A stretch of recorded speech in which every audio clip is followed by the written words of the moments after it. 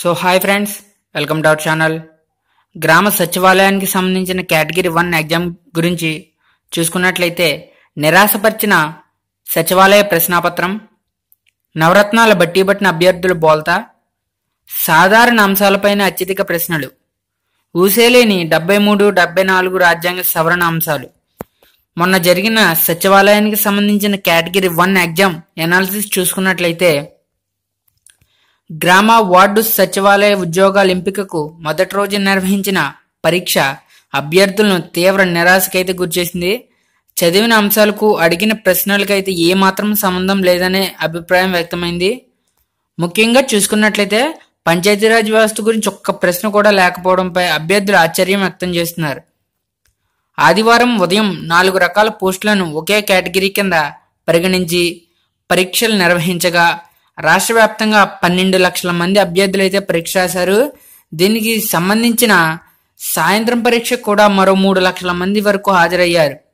Notification ప్రకటించిన తర్వాత నెల రోజులు మాత్రమే సమయం ఉండడం రాష్ట్రంలో కొత్త ప్రభుత్వం అధికారంలోకి వచ్చిన నేపథ్యంలో అభ్యర్థులు రాష్ట్రంలో సంక్షేమ పథకాలు నవరత్నాలపై అత్యధికంగా దృష్టి సారించి పరీక్షలకు అయితే సిద్ధమయ్యారు. కానీ వాటి నుండి అయితే ఒకే ఒక్క ప్రశ్న కూడా రాలేదు. అలాగే ఏపీ బడ్జెట్ నుండి కూడా ప్రశ్నలు అయితే అడగలేదు. ఇక కొన్ని ప్రశ్నలు అయితే సిలబస్తో సంబంధం లేకుండా సాధారణ అంశాలతో ప్రశ్నలు రూపొందించారు. ప్రశ్నలు చూస్తే అందరూ రాయొచ్చని అభిప్రాయం వ్యక్తమవుతున్నా ప్రశ్నలు ఎక్కువ శాతం అభ్యర్థులను కంగారు పెట్టించే విధంగా ఉన్నాయనే అభిప్రాయం అయితే వ్యక్తమవుతుంది. ఒక ప్రశ్నకు రెండు మూడు సరైన ప్రవచనాలను ఇచ్చి వాటిల్లో సరైన వాటిని గుర్తించాలని అడగడంతో గందరగోళంలో పడ్డారు. ఇటువంటి అనలైటికల్ ప్రశ్నలు ముప్పై వరకు అడగడంతో అభ్యర్థులు బెంబేలెత్తారు. అంతేకాకుండా నెగిటివ్ మార్కులు ఉండడంతో ఏదో ఒక దాన్ని ఎంచుకోవడానికి అభ్యర్థులు సాహసం చేయలేకపోయారు.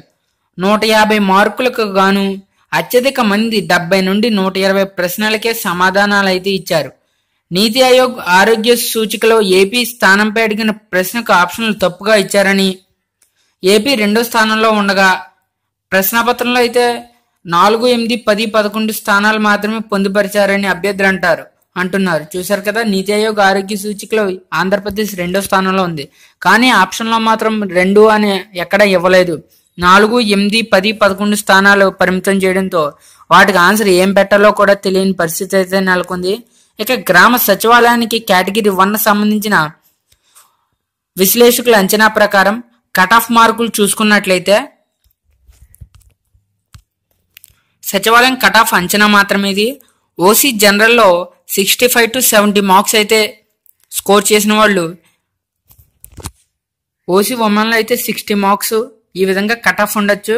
కాకపోతే ఇవి జిల్లాలను బట్టి కూడా మారుతాయి. ఎందుకంటే డిస్ట్రిక్ట్ సెలక్షన్ కమిటీ ద్వారా చేపట్టిన ఎగ్జామ్ కాబట్టి ఒక్కో జిల్లాలో ఒక్కొక్క కట్ ఆఫ్ మార్కులు ఉండొచ్చు. కాకపోతే ఓవరాల్గా ఇన్ని మార్కులు వచ్చిన వాళ్ళు సేఫ్ జోన్లో ఉన్నట్లు మనకు ఒక చిన్న అంచనా అయితే వచ్చింది. చాలా మంది అయితే సెవెంటీ టు వన్ ట్వంటీ ప్రశ్నల మధ్య పెట్టడం జరిగింది. దానికి అనుగుణంగా ఈ కట్ ఆఫ్ ఒక అంచనా మాత్రమే. ఎగ్జాక్ట్గా ఇదే ఉంటదని కాదు. OC జనరల్లో sixty five to seventy marks score చేసిన వాళ్ళు కొంచెం హోప్ అయితే పెట్టుకోవచ్చు. ఓసీ ఉమెన్లో అయితే sixty marks BC జనరల్లో fifty five to sixty marks వచ్చిన వాళ్ళు కొంచెం హోప్ పెట్టుకోవచ్చు. బీసీ ఉమెన్లో అయితే fifty two to fifty four మార్క్స్గా అంచనా వేయడం జరిగింది.